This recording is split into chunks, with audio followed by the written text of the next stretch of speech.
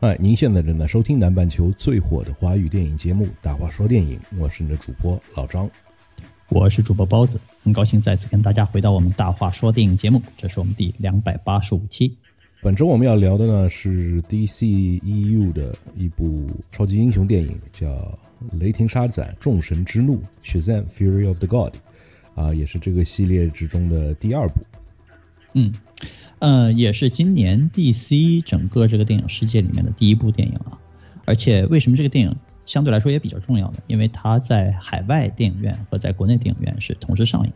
所以说国内的观众呢可以跟全世界的其他电影观众一起看这个片子，所以说也是挺为国内的电影院感到高兴的吧。但这个片子上映的时间呢是三月十七号，就上一个周末，已经过了一个周末了。我们上周没有聊这个片子，因为上周呢急着要把那个《最后生还者》那个电视剧系列说完。那本周说呢，这个片子已经在观众群中就是沉浸的一周了，所以说想必大部分的听众朋友们对这个片子感兴趣，已经有机会都看过了。所以说现在说的话，应该时间刚刚好。嗯，主要也是上周我还是新冠还阳着嘛，所以没没有去电影院看。这周的话，我把这部电影和那个《姜维克四》一口气一天之中看掉了。呃，大家都说这部电影不好，其实我觉得这部电影还是有它的好处的嘛。至少让看完了它以后，我再看《姜维克四》的时候，觉得《姜维克四》好好看啊。即使是一块砖，也有它的作用。嗯，对，我觉得，嗯，这个片子出来之后呢，其实就是在国内跟国外的风评都挺一般，因为我们以前在。呃，从前的节目里面曾经在新闻区提过这个片子，就是这个片子呢有一些宣宣发动作，然后呢，因为它是就是扎导那个时代的 DC 电影计划上面的作品，是跟现在我们知道的像呃，James Gunn 滚导他以后主持的 DCU 啊，其实是脱节的，它属于上一个时代的最后一两部作品了。所以说，在这个角度上来说呢，很多人在看这个片子的时候都会有这个疑问，就是说这个片子看完之后，对未来的 DC 英雄们有没有什么影响？就是说，是不是这个故事到这里就终结了？如果是这样的话，这个片子是不是会真的就是影响，就是它的热度，观众对它的观众程度可能就会非常低，因为它没有这个故事延续性嘛，续航性很低嘛。而且现在看呢，就是说国内跟国外对这个片子评价其实都是挺中庸的。我们国内的豆瓣呢评价是六点一分，然后国外 M D B 呢它的评价是六点六分。这个呢，说实话，就照比前面的第一部 Shazam 的片子呢，其实它分数掉的也不是很多。所以我觉得这两部片子总体质量上来说应该是相对比较平衡的，因为它核心制作团队啊，包括导演呢，包括整个这个演员队伍啊，其实都是同一个团队，所以这个片子质量其实是在一个平衡线上。但是呢，就是在烂番茄上，影评人给的评分差距就特别大。呃，上一部片子的影评人评分呢是百分之九十给好评，那么现在我们看到这个《众神之怒》呢，就只有百分之五十一的影评人给好评，这就算是一个官宣的烂片了。嗯，所以为什么就是在影评人这边这个口碑相差那么多呢？而大众观众觉得好像这个这部片子和第一部差别也不是特别的大，那你觉得其中有什么关系吗？可能是影评人对这部片子的故事构架感觉会相对有点老套。另外一个就是说，就是我个人的感觉啊，从电影制作或者是编剧啊、剧情掌控这个角度上来说呢，就是它其实是重复使用了很多我们以前已经非常耳熟能详的套路。另外，就是从主人公来说呢，我们看到的这个呃，Billy Batson 这一个小孩儿。那么他在从二零上一部片子二零一八年、二零一九年出来的吧，到现在我们没有看到他有任何的成长。那么在过去三年里面，这个演员都已经变高了，模样都变化了很大。我们在屏幕上看到这个 Shazam 这个人物，他仍然存在着一里面的各种各样的问题，包括这个两个人物变身前、变身之后这个性格错位的问题。所以我觉得这些东西没有改变，是让影评人是觉得失望的一个很重要的地方。我觉得他第一部的定位是本来就是没把自己当一回事儿，所以就是影评人去看的时候也知道，就就就像你去看一个 satire 的电影一样，你不会把它当成一回事儿去看，啊，因为你知道它的主题是什么样的。而这这一部的话，我觉得它的定位和第一部不一样，你从他所有的这些呃战袍看起来就知道了。第一部里面的战袍全部都是感觉里面是塞着棉花的那种，特别搞笑型的，是吧？但在这部里面，他所有的这些战袍啊什么的，基本上基本上这种做法跟黑亚当的差不多了，已经是，就是全部是很贴身的，至少看上去是挺正规的这种战袍啊什么的。所以他已经把自己当做一部正规的这种超级英雄电影来看待了。那如果你要把自己这样看待的话，那么影评人也需要这样去看待你这部电影。那你这部电影里面其实问题就非常的严重了。嗯，首先这部电影里面所有的这些坏人，他们所在这部电影里面就是觉得是特别没有认真的在演这部戏啊。你请的都是什么 Helen Mirren 啊，然后是 Lucy Liu 啊，这两位大人物来演这两个坏人，而他们所有的台词好像都在念稿一样的这种感觉，而且他们的那个衣服啊什么的。和他们的化妆啊什么的，跟他们的完全是不配的。然后说这两个都是一个女神的女儿，然后就是年纪相差那么多，然后呃品种还不一样，是吧？一共三个女儿，一个是白人，一个是亚洲人，一个是拉丁人。这个对你你这个是为了政治正确去，特别是这去这样做的呢，还是就是你想到底想干什么？就是这里面的话，就让很多人就是看不明白这个东西，所以我觉得这个定位是有很大的问题的。再者就是。这个电影的分数低和其他 DCU 的电影也是有关系的。你一路下看下来，从黑亚当再看到这部的话，一路上失望下来，你的分数是打不高的。就像 MCU 最近一样，分数就是一直为什么都是那么低？就是一部烂片看完了，一部烂片，就是就一直这样下来的话，你这个口口碑是不一样的。而在《血战一》第一就刚出来的时候，那个时候。不管你怎么说的话，《神奇女侠》第一集，《海王》第一集，然后在这部的话，基本上还是一个 DCEU 正是在一个高峰的状态上面出来的电影。而这部电影出来的时候，DCEU 已经走向末路了。所以这个电影里面后来要发生什么事情的话，基本上是没有任何影响力的了。嗯嗯，我觉得其实啊，你说这个其实确实是挺有道理的。就是说，在《海王》和《神奇女侠》刚出来的时候，DC 确实是属于一个。Underdog 的那么一个角度，就是大家其实都希望他的英雄人物能够成功，而海王这个片子在商业性上和这个娱乐可看性上也确实是达到了它应该有的高度。所以说，我觉得，呃，虽然说海王稍微有一点点过誉啊，但是它的娱乐性其实是完全存在的。神奇女侠呢，当然就是另外一个比较神奇的例子了。那么这两个人，其实，在我们心目中都扎根扎的挺深的。你说到神奇女侠，你想到的就是盖尔格道那个样子；然后你说海王的话呢，指定就是 就是杰森·莫摩啊。但是雷霆沙赞他出来的时候呢，他因为他在第一集里面给了我们很多就是学校里面的小孩子生活的这个这个这个内容和这个场景。就是关于这个没有父母的小孩，他的生活矛盾，他的人生挑战，他自己的痛苦啊什么的。然后呢，当时很多影评人在看这个片子的时候呢，就觉得这一部分其实是 DC 以往的其他超级英雄没有的东西。所以说，在呃沙赞一出来的时候，我觉得很多加分其实都是加给了这个学校里面的小孩子面对玻璃啊，面对这些东西的时候他们的反应。嗯，这些东西呢，很遗憾，在几年之后，我们看到《沙赞二》的时候呢，都没有了。就是说，二里面我们看到的 Billy Bison 出场，大概一共也就是五分钟吧。然后他们基本上没有在学校里面花什么时间，就是在学校里面出现的时候，就是那个就是瘸瘸子弟弟呃 Freddie。他感觉好像是突然之间多了一段三分钟恋情，然后到学校楼上面去，然后整个这个学校里面的场景基本就结束了。然后他们在家里面正常生活之间的互动也都变得非常非常少。很奇怪，这个片子是两小时十分钟的时长，它这个时间都花在后面的那些数码怪兽啊之类的东西上去了。我觉得这个决定其实可能是这个片子就是失衡的一个一个起点。那些数码的那些东西的话，其实。看上去还不错，觉得比这个《蚁人三》里面这些特效做出来的东西要好很多，有这种感觉。对，然后这部片子的确就是，呃，我觉得 Freddie 在这里面算是一个主角，因为你从来就没有看到 Shazam 他自己变成小孩的那个样子有多少，就像你说的，可能只加起来的话也就五分钟的戏，所以就是 Shazam 这个人物的人物弧线在这部片子里面其实是不存在的。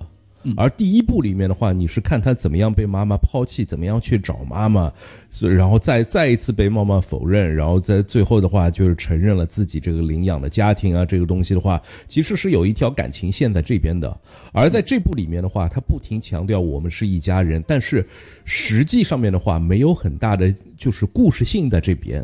而且就是有一个很大的问题，第一部是一个人物的呃起源故事，第二部里面你没有解释这些人为什么就不永远就把自己作为一个超级英雄的形象在生活中，而而为什么要回到这个小孩的形象中？在小孩的形象中，你们都是一群孤儿，没有钱，要住在别人的房子下面啊什么的这些东西，包括 Freddie 的话，他是有残疾的，那为什么他就不一直？作为一个超级英雄呢，这就这些东西他没有去解释，使得这些人物的存在是非常空洞性的。第二，这部电影里面不停的强调 family，甚至把这个呃《速度与激情》的这个梗也拿出来。这个梗出来了以后，其实就把这个电影从第四道墙里面打出来了，因为 Helen Mirren 就是在那个《速度与激情》里面的嘛，是的，是吧？所以这个这一点的话，就是让大家。会稍微从电影里面出来了一下，然后就想象，然后你没有在看《速度与激情》的时候看到过这个老太婆吗？你知道吗？就特别奇怪。然后就这个里面的话，其实他在 Family 上面可以做很多的文章在这个里面的。嗯，这要就说到，呃，很多这种超级英雄电影里面的这些坏人的能力，呃，一开始用过很牛逼的牛力，到后来就不用了。就在一开始他们在博物馆里面用到的能力，就可以操纵别人嘛。嗯，是吧？在这个耳朵里面说一句话，然后就会把那个人给操纵了。那他用可以用这招来对付 Shazam 的他这一家人啊，让他要跟自己家人而去去去打，你知道吗？嗯，这样的话可以体现出这种 family 里面这些矛盾啊什么的。甚至他可以控制了他的两个那个家长，就那一个大胖子和那个他老婆嘛。对，就他因为在故事里面一直不承认那个老婆是他的妈妈。直到的电影最后的话，才叫了他一声妈妈，是不是？但是这个转折在这个电影里面完全是没有，没有一个没有个弧线的，有铺垫，但是没有故事，是不是？一开始的话就是叫他名字，不可能叫他妈妈；最后的话叫他的妈妈，但是当中没有发生任何事情。那么，如果你让 Lucy 路易去操纵了这两个人，以这两个人为人质，把这个东西放在这条故事线里面，最后他们经过了很多的事情，最后他承认他是他妈妈的话。这不会好很多吗？对不对？但是这部电影里面没有这些东西。对，包括最后他说是叫，就是跟那个女的叫妈妈那个地方，我也是觉得完全没有什么感觉。嗯，而且那个女演员感觉好像是跟第一集里面看的样子完全不就是不太一样，好像是脸上就是医美的痕迹有点做过了。就是不太像那个很接地气那个那种，就是说牺牲了自己人生很多东西去抚养很多孩子，就这种感觉没有了，没有那种特别朴实，让人觉得特别容易有联系、有投入感的这种这种这种感觉没了。嗯，你想想，就是说，Shazam 他作为一个超级英雄，DC 里面的超级英雄，他跟其他的超级英雄有什么在呃核心上面的区别？首先第一点呢，就是说他是一个青少年。虽然说他的能力非常非常的强，他在变身之后很牛逼，但是呢，他的核心理念在解决问题的时候和他的世界观仍然是一个小孩儿。我觉得这是 Shazam 能够跟其他的超级英雄分开的这么一个一个很重要的一个点。另外一个特别重要的点就是说，Shazam 一里面他就已经把他身边的小孩，就身边身边这些兄弟姐妹啊，全部都变成了超级英雄。那这个决定在第一集的最终出现的时候，我对这个东西是有怀疑的，就是我觉得这个决定做的有点早，因为如果要是血战是整个这个超级英雄世界里面，包括呃其他的就是对手啊什么这些特别强大的人里面唯一的这么一个小孩，那么他在性格上面有很多非常独特的东西，这个电影可以来利用。比如包括他的决定啊，包括他跟人对话，其实这个男主角就是这个演员啊，已经很努力的在表现他是一个他是一个小孩的这个样子了。我觉得这个这个努力其实是在的，但当你把他身边这些小孩全部都变成超级英雄的时候，他就不是唯一的一个小孩了，他的独特性就被弱化了很多。当然，在第一集里面这个问题没有那么尖锐。因为是就是当当已经快到大结局打最后一架的时候，才把其他的小孩子全部变成了超级英雄。第二集里面开始的时候，家里面这些小孩子就全部都是超级英雄。我们不知道这些超级英雄他们之间到底有什么能力上的区别，啊，我们只知道他们其实是把当初那个魔法师的这个这个殿堂变成了他们的一个据点儿，然后呢，从那个地方出来之后，不停的在就是啊这个城市里面做超级英雄应该做的事，飞来飞去啊，就是助人为乐啊，做这些事情。但是，当一帮人全部都是小孩儿，以大人的身份出现的时候，这个这个笑话哈和尖锐的这种就是呃幽默反差。就全部都消失了，因为大家都一样的时候，就是没有人突出。所以说我在看这些家庭成员、这些兄弟姐妹全部都是超级英雄的时候，我对他们的感觉就是说大家都是一样的。现在也不知道那个特年纪特别轻、穿紫色的那个黑黑人小孩长大了之后，他到底能做什么？他好像就是说在这个片子里面说了几句啊，特别喜欢宠物的话。卖广告的包，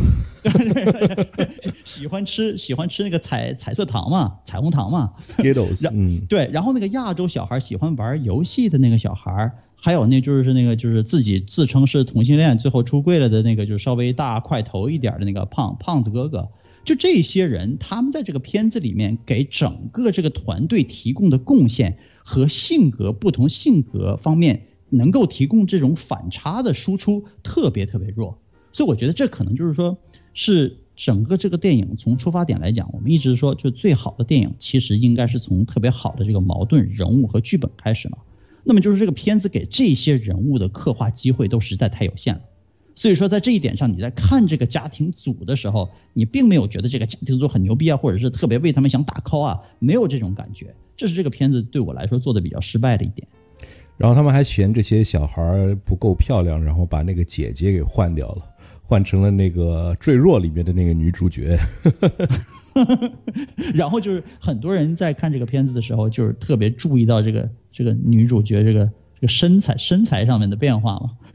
因为在这个《坠落》里面，并没有觉得她身材怎么这么这么优秀夸张啊，在这个片子里面，很多朋友看完之后都在微信群里面去去讲关于这个新战袍的特色。我觉得这两部片子里面都是在露大腿嘛，就这就是他在这个电影里面的输出了。就这些人物其实都是没有什么特别的特别的效果在这个里面的，啊，这也没有说就是说每一个人可能拥有一位神的能力比较强，有一个可能速度比别人更快一点，有一个可能比别人更聪明一点，怎么样的这些东西，在这部电影里面基本上是没有这方面的体现的。所以我就觉得这是比较吃亏的一点。还有一点就是，因为他要决定用用小孩来演呃 Shazam 的话，那么从第一部到第二部，这些小孩的成长已经非常大了。这个主角的话，已经是一个感觉是一个成人的感觉了，比第一部里面的小孩更低沉了。所以当他变成了大人的时候，为什么大人反而是越来越幼稚呢？甚至比第一部里面更幼稚，这个东西其实是从第一部里面就没有铺垫好的。为什么小孩那么少年老成，但是变成了超级英雄以后，这个大人就是那么的幼稚？这一点就是从来就没有好好解释过的。还有那个 Freddie 变成了那个大人以后，看上去有点像那个 Harry Stone 的那个样子，特别讨厌。我是觉得这个 Billy Benson 这个小演员啊，嗯，Ash Angel，Ash Angel，就是。长得有点太漂亮了，就长得漂亮到那种，就是他在学校里面如果走来走去的话，我们下意识的就会觉得他应该是那种就学校里面的小明星，或者是今天这种特别强的这种 YouTube 网红脸，就是这种这种人物。而且如果他干干净净的、白白净净、文斯斯文文的在这里走做做点什么什么日常的事情的话，你感觉他就像是一个学霸的那种感觉样子。就觉得应该是个优等生的样子，而不是一个 trouble maker，就是那种到处调皮捣蛋或者是惹祸的这种人。所以说，当他变成 Shazam 的时候，这种就是嗯特别顽皮的小孩子、逗逼状态的这么一个人，在第一集里面就存在一个特别大的问题，就这两个人的性格感觉不是一个人。那现在呢，就这两个人各自往各自的极端方向上越走越远。我觉得第二集里面没有看到特别多的小朋友，是不是因为这些小朋友就是因为他们长得有点，就是三年过去了，他每个人都已经跟第一集里面变化特别大了，所以说没有办法再继续延续当初这个电影里面我们描述的这些小孩每个人都是怎么样，所以说其实就是把他们的戏全部都都都都剪掉，只有这个 Freddie Freeman 这个瘸子小孩，他呢就是一直都是属于在演技上面嗯比较。有天资的，所以说呢，把这个人物呢继续在第二集里面使用，是用的特别多。就这个小孩吧，就是他的故事线说的是他快十八岁了，然后他觉得的话，呃，可能就是不能在这个家里面继续待下去了。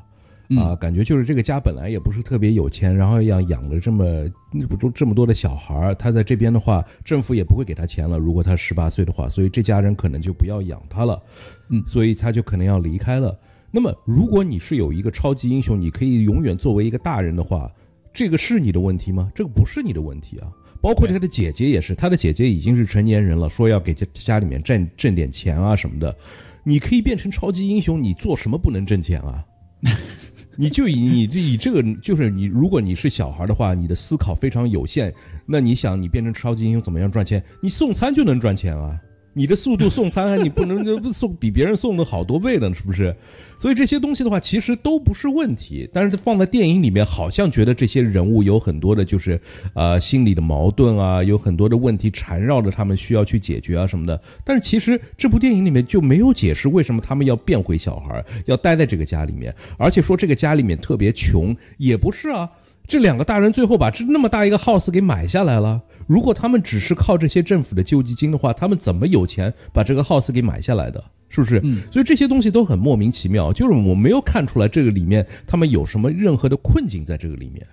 嗯，我觉得英超级英雄日子过得经济上面比较窘困，这是一个一直以来的基础设定。除了像什么蝙蝠侠啊、钢铁侠啊，还有那个什么绿箭侠啊，这几个就是比较奇葩的超级英雄，他们是用钱来支持自己能力。其实他们本身没有什么超能力嘛。其他大多数我们比较耳熟能详的，包括超人，他的经济上面来说，他的日子过得其实都是非常非常平庸的。所以我觉得他想把这个元素介绍进来，就是让这些小孩觉得啊，我们都是生活在一个寄养家庭。那么这个寄养家庭呢，可能是他经济来源确实是挺窘困的，这个没有问题。你让我们看到一点细节就可以了，对吧？但是现在我们就是并没有看到这些，就是他们觉得哦，好像这小孩子自己攒点零花钱，干点什么事情，这其实编我不用不用我教编剧说什么事情啊，就编剧应该自己知道的。但就是这种东西，如果你要是看到了的话，我觉得这个《雷霆杀人二》它这个电影立刻打分就会高起来，因为你看到了这些小孩子，当他们不是超级英雄的时候，他们在经济上面是如何挣扎的。这个东西在这个二里面就是完全是空白，所以说导致了说这个片子它在世界观打造的时候感觉就是特别空，特别塑料化。另外一个，这个片子本身呢，它其实是有这么多超级英雄。它仍然把这个关注点呢聚集在一个城市或者这个城市的一小块里面，包括这个三个神，就是神的女儿啊，最后回到他们自己的那个维度的时候，他们其实的活动空间也就是在限制于在那个神殿里面，就给人感觉好像是其实只是用了几个布景棚的努力去打造这两个完全不同的世界，有些时候就是觉得这个片子。花了这么长时间，为什么我们看到的世界观这么小？这也是让我觉得挺神奇的地方。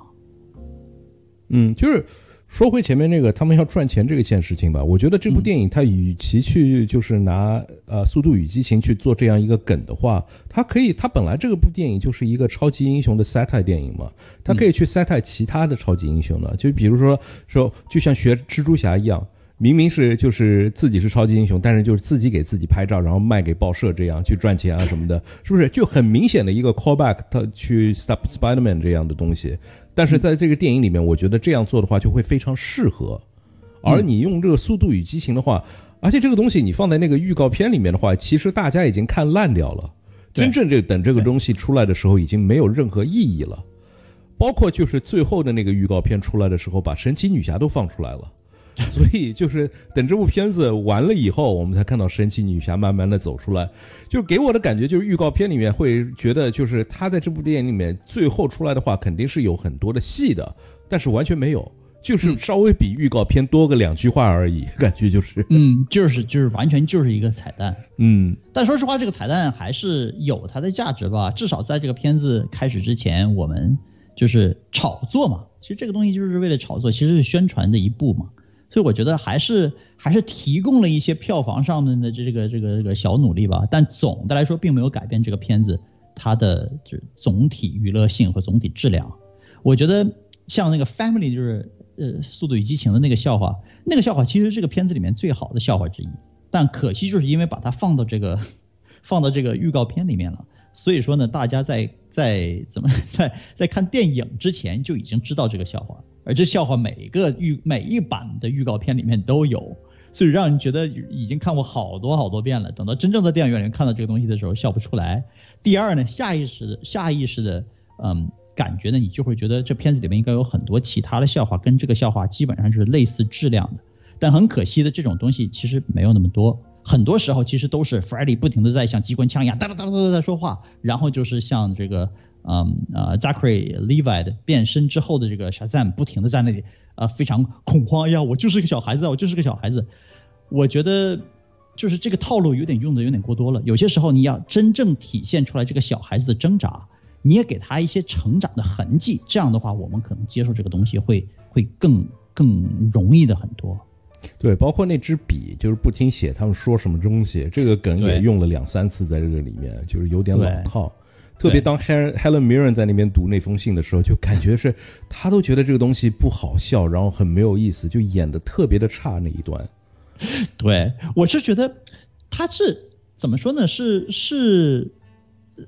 就是我就是对这这几个坏人的这个神神的女儿啊，我就是觉得特别生硬。感觉好像他们就是过来领盒饭的，就是或者这个剧请了他们来，但是给他们的这个剧本或者是人物里面基本上没有什么让他们发挥的空间。像哈勒米尔的话，基本就是说一边在演这个东西，因为他有这个职业操守嘛，所以演这个东西演也是演了，但觉得好像是我其实这 this is 这不是我人生最优秀的演技，甚至就是在那儿对付。然后露西刘也是刘玉玲的话。我就觉得她一直就是坐在一个塑料凳子上，骑在那个龙上嘛，在屏幕上，嗯，然后她就基本上是腰也不动，肩膀也不动，手也不动，一直就是在那里坐着。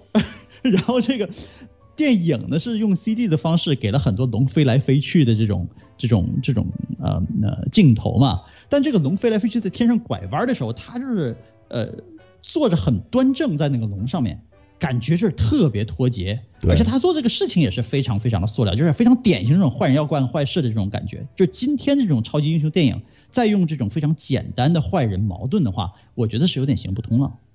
就是你没有给他一点真正的这种动作戏这这方面的东西，就整部电影里面，就超级英雄之间就是互相放闪电。就是就感觉是这样的，Lucy Liu 以前在这个演 Charlie Angel 的时候，各种翻跟斗啊、踢腿啊，动作是很多的。嗯，虽然现在年纪大了一点，但是你稍微给他一点这种吊钢丝的这些动作啊什么的话，其实会让这部电影好看很多，而不是一直就是坐在那边一动不动的那种感觉。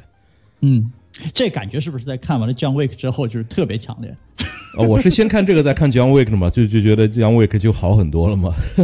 对对，而且这个片子里面呢，就是呃，神的三个女儿呢是老中青，对吧？一老太太，然后一个中年妇女，然后一个一个少年人，呃，小姑娘，颜值担当。这颜值担当呢是白雪公主。你觉得这个白雪公主呢，在这个这个沙赞这个电影里面，她表现怎么样？这个人物给了她很充分的表现机会吗？我觉得这个东西就是 他想政治正确，但是做的非常政治不正确的，就是一个六千年的 就就这样一个呃半神吧，然后跟一个未成年的这样一个小男孩在一起，然后这部片子里面还很很合理的让他们接吻啊什么的这些东西。但这个东西如果你换成一个男的和一个女的在一起这样的话，你就这个就觉得这个是一个恋童了，是不是？对啊，雷神的话，至少在那个 Jane Foster 的话是个成年人，是不是？不是一个小孩儿。但这个东西，你为什么一定要让这个东西发生在一个小和一个小孩的关系上面呢？你或者在电影里面就让他们已经过十八岁了也可以啊，对不对？这个东西你坐在这边的话，其实是非常尬的一件事情。你看神奇女侠在神奇女侠二里面不是也面对着非常类似的这种对啊迷奸别人嘛，等于是。然后就是神，我我一直就是觉得很奇怪的，就是在这种超级英雄电影里面，其实很多 MCU 的电影也是这样的，就是他们一定要给这个男主角或女主角，或者是里面的呃某些人物啊，要把他们编成 CP，让他们之间有这个爱情的火种啊。但是如果是其中有一个人已经有几千年的这个寿命的时候呢，就是我就是在这些人物身上看不到几千年的，就是生命和几千年的体验带来的这种人生经验的沉淀，这种东西没有。你不能说这个人是六千年，他就六千年，你要给他值得六千年的这些东西和这些分量。所以，如果是你要是加了这些东西的话，可能我对这个人活了六千年，他对人生的这种。疲倦啊、分分离离之间的东西，他应该已经看得非常淡了，因为他看过很多这种东西了嘛。如果是这样的话，我可能会认为他这个六千年方面的塑造特别成功。如果你要想把把它变成一个小姑娘，然后就是在屏幕上面跟这个少年少女他们之间有了这个爱情火花，然后就是取悦我们的年轻观众的话，你不要让它是六千年，因为如果你把它变成六千年的话，对于我们这些成年人观众的话，我们是没有办法承认或接受这个东西的。这个东西看起来非常非常的别扭，而且就是他的人物设定，就是他的两个姐姐管的他特别严。嗯，但是我们在电影里面看到，每次三个人在那边讨论的时候，他经常是有很有很大的发言权的。然后两个姐姐的话也会听他说什么东西的，所以并不是那种就是姐姐管他管得非常严的这种感觉，在这个戏里面。所以各种设定起来的话，其实我觉得这甚至这个部戏里面不需要有三个姐妹这样的。我觉得这个日剧完全有点凑人数的这种感觉。对，有点一其实一好一坏就够用了。嗯，对吧？而这就是这个。这个 Rachel Zegler 这个年轻的这个女儿呢，她好像她这个魔法可以随意安排这个世界，然后把自己就变得很远啊什么的。这个东西也并不是解释的很清楚。这个老姐姐 Helen 嗯 Helen Mirren 的那个姐姐，好像是说她有这种就是元素法系的这种能力，但是像什么控制火呀、控制电啊这些东西，感觉好像也并没有什么发挥。最终就是做了一个立场，做了一个圆球，就是。一个结界封印的那么个东西，然后露西流的那个这个这个坏大婶儿，感觉好像其实应该是可以控制人的就是精神和灵魂的，但是好像这个东西就像你说的，最开始的时候用了一下，后面的时候就是没有再用了，其实就是拿那个棍儿相互之间放闪电，这个东西就是让人觉得这个超级英雄片子做的比较比较懒，因为真的是可以有很多比较优秀的梗可以玩出来的。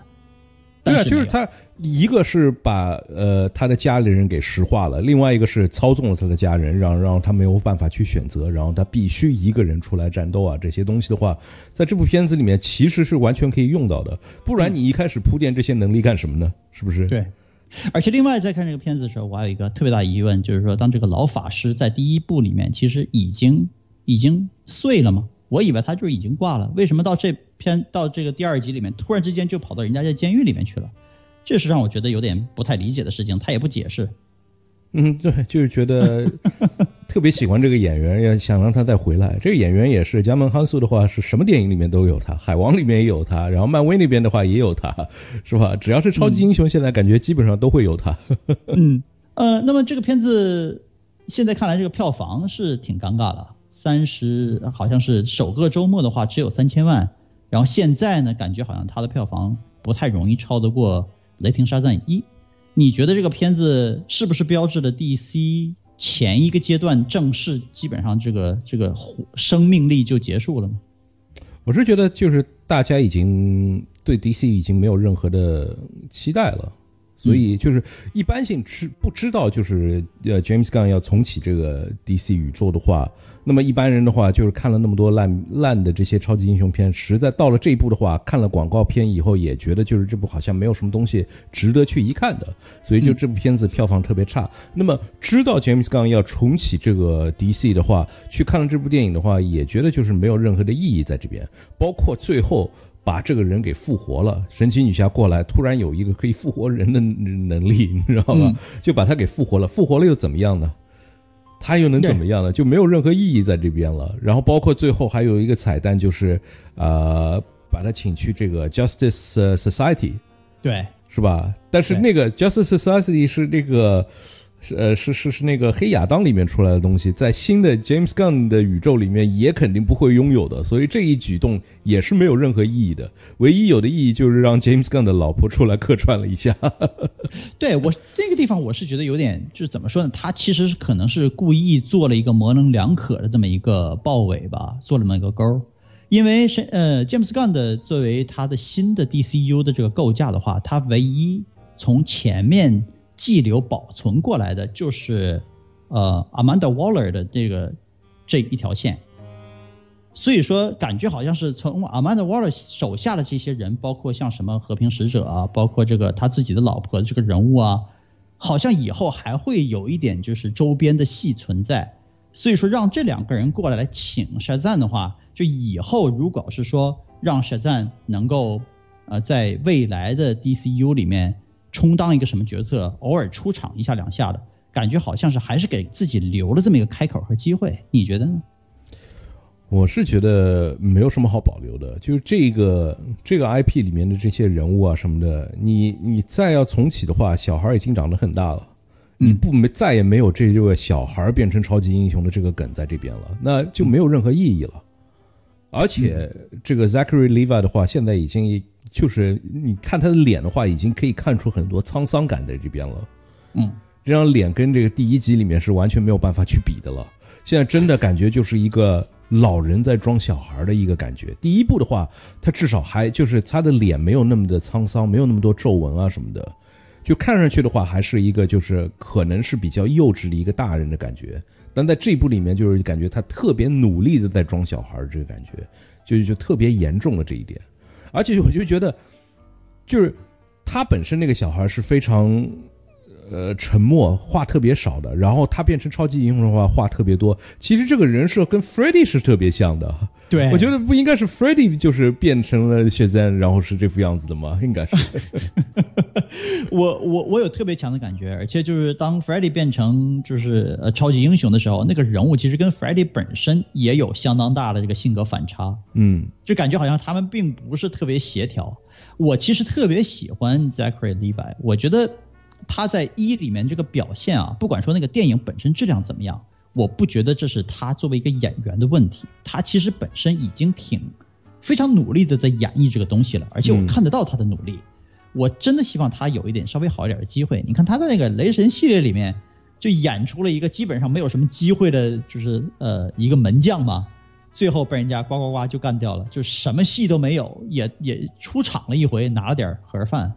然后在 DC 这边得到了个机会，感觉好像应该是他起飞的这个起飞点，但其实这个片子最终就是系列，也就是无疾而终，就做成这个样子。我真的希望他有一点其他的机会的，因为我觉得他在表演方面的潜力和就是天分其实还是有的。我觉得他是一个很好的喜剧演员，但是问题是演超级英雄的话，这个板块不是特别适合他，我就觉得，嗯。然后一个还有一个非常有意思的地方，就是他那个衣服被烧了以后变黑，你知道吗？就一开始有一小块变黑，然后后来他顶着那个魔杖往前面飞，整个衣服变黑的时候，我那个时候有一瞬间在感觉是在看黑亚当，有 点有点，对对，就是我以为他那个衣服变黑，然后会有一点什么其他的梗说出来呢。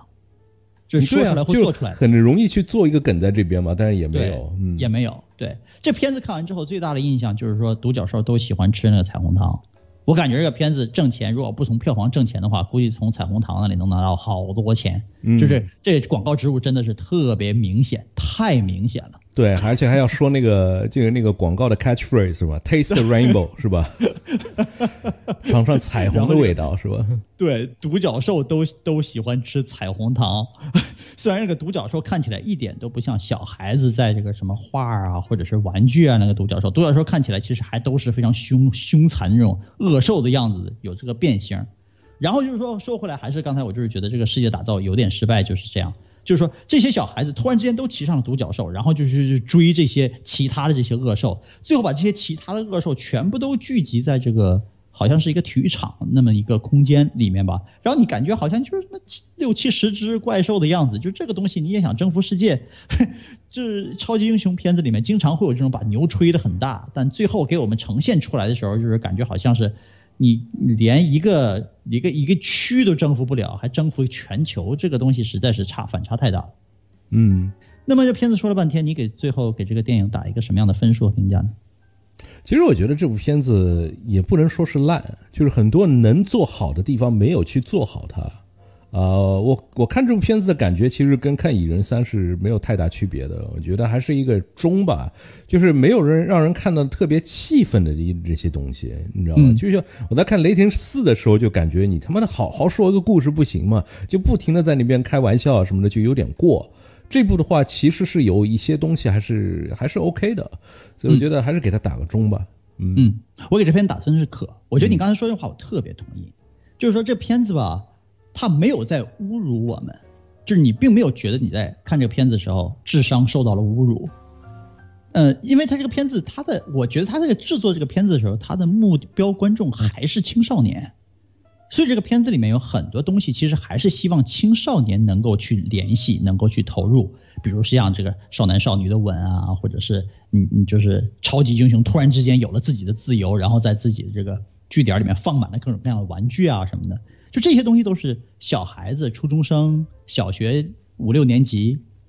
特别喜欢的东西，或者特别梦想的东西。但是很可惜，这个片子他要想做好的话，他要提供给我们成年人也能够欣赏的东西。但在这个片子里面，他就是因为把自己主动降智了，所以说失去了很多像我们这个级别的观众，就是觉得会很喜欢、很讨喜的东西，没有给我们做这个片子。所以说给他打分是可，就是说，如果是说你有小孩子，或者是你自己还是一个小孩子的话，你灵魂上面是个小孩子，你去看这个片子，你可能期待值也不是很高。这个片子。呃，娱娱乐乐的其实还是可以的，但是如果是作为超级英雄片，特别是跟前面很多其他的比较优秀的片子比的话，这个片子真的也就是属于那种刚过及格线的样子。就现在开嘴炮的这些超级英雄太多了，就是整个玩笑性的，包括雷神四，包括这个死侍啊什么的，都是在做这些东西，所以他没有自己的一块新鲜感的东西在这边了。嗯，我们再看看还有什么其他的好莱坞话题和新闻。嗯，首先第一条呢是跟漫威影业有关系的。最近听说呢，就是漫威里面有一个比较比较高级的这个执行官，叫做 Victoria Alonso，啊，宣布离职了。这个事情你听说了吗？嗯，他是就是一直以来是跟着 Kevin Feige 的，从第一部钢铁侠跟到现在，其实很长时间的话。呃，一直以为就是如果有一天 Kevin Feige 走了以后的话，他可能是接管呃 Kevin Feige 这个职位，作为第二个 Kevin Feige 的，所以就是一直以来都是觉得就是他就是下一任嘛。但是没有想到，就是突然之间一条新闻出来说他就是离开了漫威影业了，然后新闻里面也没说是他选择走的呢，还是公司把他给踢掉的。我就最在昨天和前天重新在。就是梳理这些信息的时候，发现有很多新闻贴已经就是试图把这个东西说成他是被开除了。嗯，那么就是说，因为我知道他是是二零零六年，就是在第一部钢铁侠出来之前制作钢铁侠电影的时候，他就已经是核心团队里面的人物了嘛。而且 Kevin Feige 他不可能一个人去制所有这些片，他下面指定是有一个比较忠心的而且有能力的团队去支持他的。那么这个 Victoria 应该就是里面比较重要的人物之一，还是个女生，所以说应该是得到了很多各种各样的支持和认可吧。呃，在二零二一年的时候，她是被被升职负责这个电影后期制作、视觉特效和动画方面的这个工作管理。她是作为高管的话，她是负责这么一块的。那你觉得在漫威 M 就是 MCU 第四阶段，我们也说过有很多像什么打斗戏，其实动作看起来非常水，一点都没有酷炫的那种效果啊，或者是最近看的这个蚁人三，就是觉得好像是视效基本上都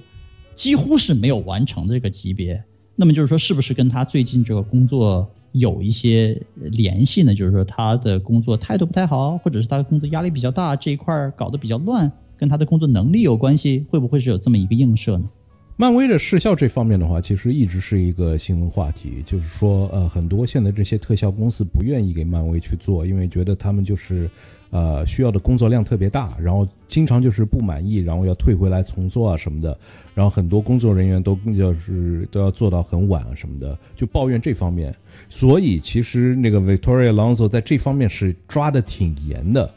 问题是现在就是这些特效公司，他们因为要互相竞争，经常把价钱压得很低，然后自己在刻薄自己的这些工作者，你知道吧？然后这些事情就全部都灌到漫威那边去了。其实漫威也是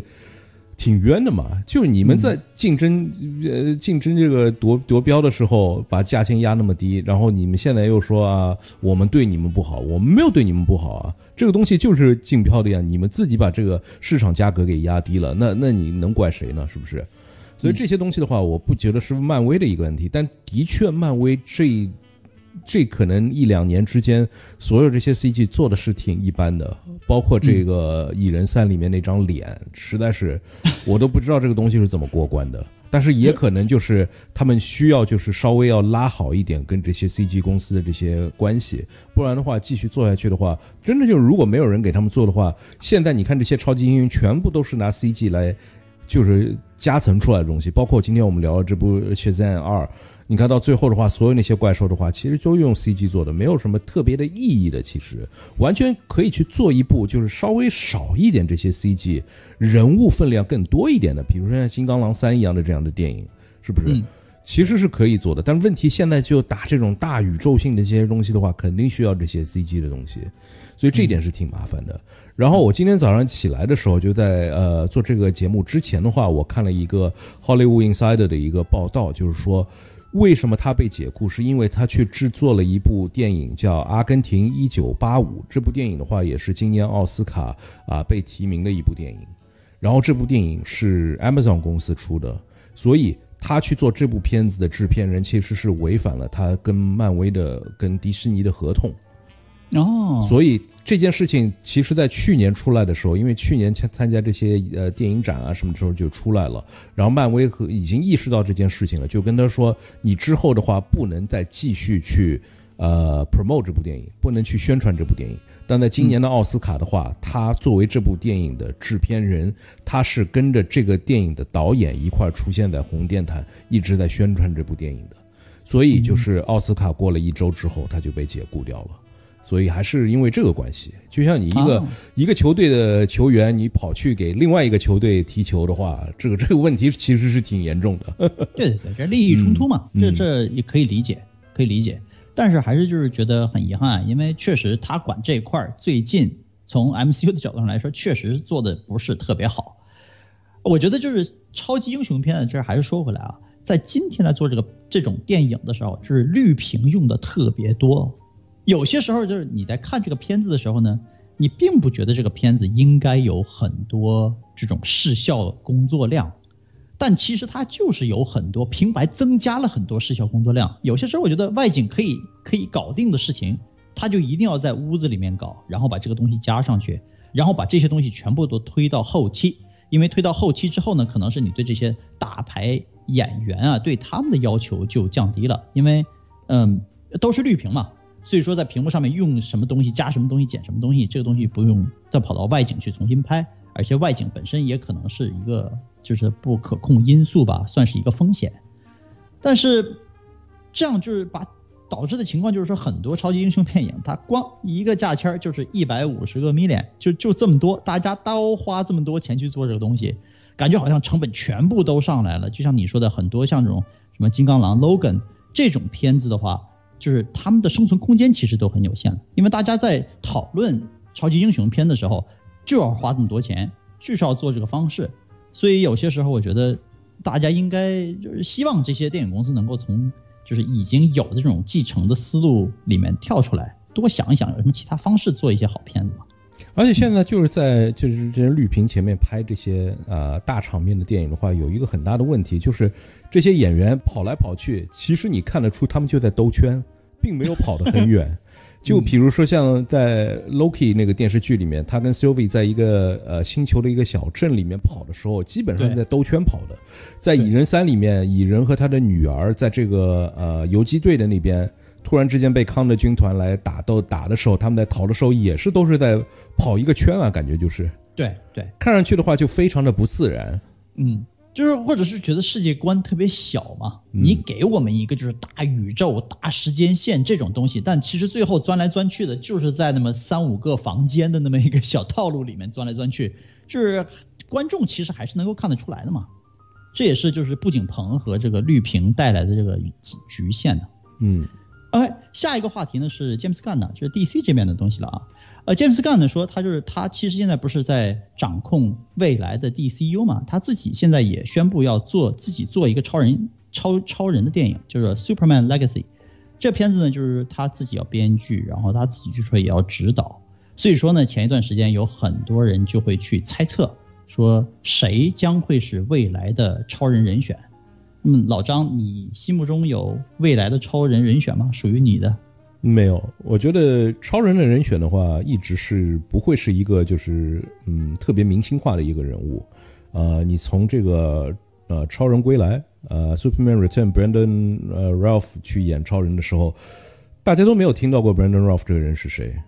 包括 Henry Cavill 在演超人之前的话，其实他演过的电影特别的少，他不是一个明星级的人物。所以，如果让你去猜那个时候谁会去演这个 Man of Steel 钢驱的时候，你不可能会猜到是 Henry Henry Cavill 这样一个人的。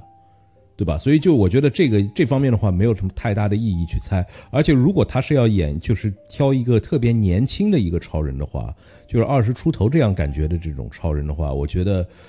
可能我们更猜不到。就是这些人可能都是演这些什么啊，迪士尼的这些小的这种青春剧里面出来的人物，这些这些演员的话，我们不会去注意到的。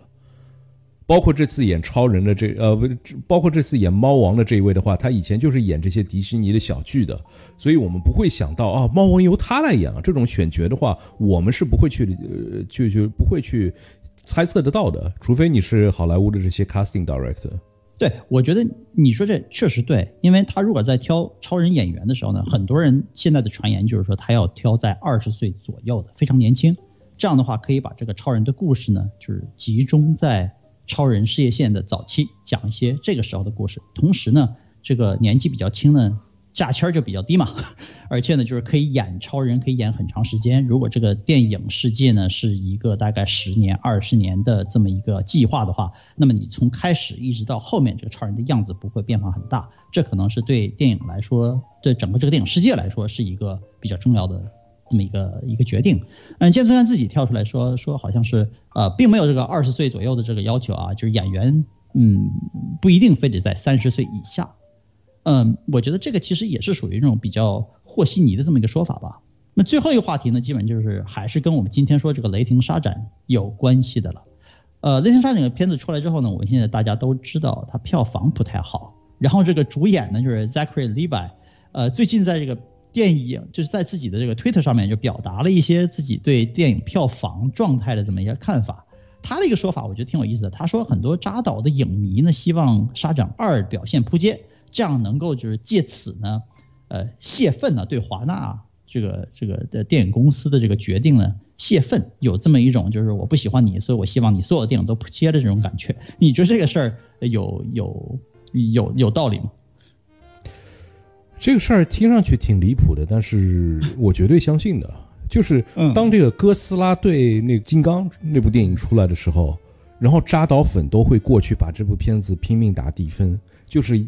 呃表现他们对这个华纳的不满，你知道吗？所以。你说这这条新闻的话，我绝对是相信的。扎导粉什么事情干不出来？然后扎导的话，这周又搞了一个新闻，给自己设了一个，就是因为以前有这种 Comic Con 啊，这就是漫画展啊什么的，他找搞了一个扎导展，Snyder Con。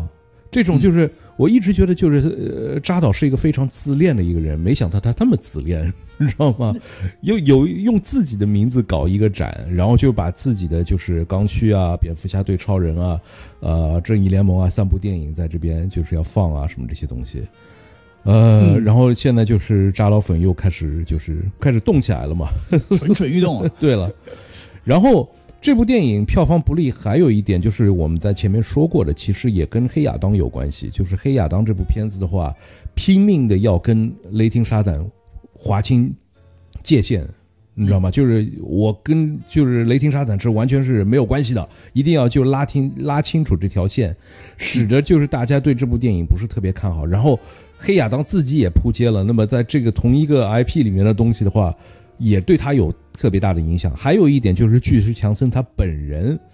啊，对这部片子有很大的这种参与在这个里面。他就是因为我们前面聊到这个最后那个彩蛋是那个 James Gunn 的老婆和那个胖子一块出现嘛。最早的话是他们是希望从那个黑亚当里面的正义协会里面的那个，呃呃那个那个鹰人和那个龙卷风这两个人去招 Shazam 的。嗯，但是因为呃，巨石强森不同意，因为他是那个片子的制片嘛，不同意，所以他们在临时才改成 James Gunn 的老婆，所以不是他来决定的，是没有办法作为 Plan B 来营救的这样一个呃策略吧。嗯，但玩说实话，就这算这个勾已经做的做的可以，但未来的话，我觉得沙展这条故事线也发展不太下去了。嗯，就我觉得沙展这个故事已经没有什么其他更多可说的东西了。以后可能是作为花絮或者是彩蛋一样的东西出来一下，可能大家还会对他有点兴趣。因为这个人，你想让他撑起来自己一个系列的电影，其实不太容易。他这个逗逼形象的话，其实最适合的就是在其他的这个电影里面打酱油。说实话，应该是这样。而且就是 Zachary Levi，他一直说是这部电影的 marketing 没有做好，就是其实它是一部很好的家庭电影啊什么的。按照这个方式去宣传的话，其实可以做得很好。但是问题是你这部电影里面自己没有放很多的这些家庭的这些成分在这个里面。如果你这部电影是按照一个家庭成分去拍的话，那你的预告片里面就会多很多这种家庭成分的这些东西，去吸引家庭去看这部电影。问题是你电影自己没有往这方面去做，你不能怪这个 marketing team 没有做好，预告片没有把这部电影想表达的东西表达出来，因为你这部电影就没有把这个电影想表达的东西给表达出来嘛。嗯，我觉得这点说的特别对，因为这部片子做出来之后，并不是是爸爸妈妈带着小孩子去看的电影。嗯，我觉得他还是想做成这种年轻人拉帮结伙，不是就是高中生、初中生啊，初中生啊拉帮结伙一起去看。电影的这种电影，所以说虽然都是为年纪轻的观众做的，但它其实这个角度还是有区别的。你看我看完这个片子之后，我是觉得这个片子我要带我自己的女儿来的话，回头等到我们开始聊东西的时候，能够聊的跟家庭方面有关系的东西非常少，基本上就是这个样子。呃，扎导那个这事儿也挺有意思的，因为这事儿也挺新的。我看到了那个就是呃广告的那种海报式的东西了，就是扎导有一个 Snyderverse，然后感觉好像是他这个正义联盟扎导版正义联盟要进电影院去演一下。我倒是很好奇这个片子最终它会有一个什么样的票房反应，因为虽然你说这个扎导扎导的影迷啊，他有可能很狂热的影迷会做出各种各样的事情，但我觉得很多人其实都有巨狂热的影迷，包括这些歌手啊什么，其实都是这样的。但这些影迷其实都是非常小众的这么一个小群体，非常极端的这么一个小群体，他们真正能够影响电影的票房宣发，我觉得其实还是有限的。这片子它就是票房上面栽跟头了，扑街了，还是有它自己质量上的原因，并不能完全都是去怪。去怪扎导的影迷，我觉得没有没有没有，你是没有想象得到扎导的影迷他们能做多少疯狂的事情。我现在每天打开 Facebook，我都要去，呃，屏蔽掉可能两到三个就是扎导影迷的这样的 page，就是他在 Facebook 上面一直就是买这些推广嘛，所以就是我每次打开 Facebook 的话，都会看到这些东西，所以我一定要去就是不停的去屏蔽这些东西。所以他们的影响力其实是很大的。就是说，你比如说一个正常的一个 Facebook 用户，你打开你 Facebook 的话，就经常会扫到他们这里面那些这些贴的东西。然后就拼命的在这边说 DC 的坏话，然后拼命的说就是扎导的东西有多好，这些东西，他们的影响力真的是非非常可怕的。他们甚至可以在这个漫画展的上面，就是飞飞机、铺横条什么这些东西，然后雇那些车到处开啊什么的。他们真的是挺能花钱的，而且就是跟其他的这些风疯狂粉相比的话，他们这个团队的话，其实是有扎导不停的在跟他们输出这些东西的。你知道吗？其他的话，你比如说你你说什么呃，就是国内可能这些单改的粉啊什么的，喜欢这些明星啊什么的，其实明星很少跟他们有这些回应的东西的。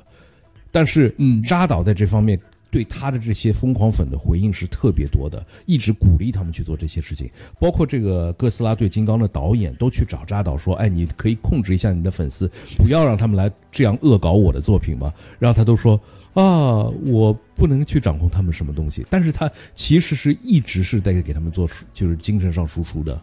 嗯，哎呀。粉丝也是个非常神奇的东西啊。嗯，行了，那么今天我们就聊到这边，还是非常感谢大家的收听，希望大家可以喜欢我们的节目，给我们的节目订阅、点赞、打分、留言啊，把我们的节目分享在你的朋友圈、微信群、微博上面，告诉更多喜欢影视的朋友一起来加入我们讨论电影。那我们所有的节目都可以在国内外各大播客平台上面可以搜索得到，只要搜索“大话说电影”。这个我们每次重复一遍呢，是因为有些节目会在某些平台莫名其妙的被下架，所以想听全我们所有节目的最好的方式。呢，还是在多种平台上面，呃，多多种的关注我们。对于我们的节目或者讨论的影视作品有任何问题或者话题讨论，都可以在各大平台上面跟我们留言，或者是加我们的微信公众号“大话说电影”，从中可以取得进入我们微信群的方式，来我们的群里和那些志同道合的影迷朋友们一起讨论电影。嗯，还是再次感谢大家对我们节目第两百八十五期的收听和支持。我是主播包子，我是老张，我们下周再见。下周再见。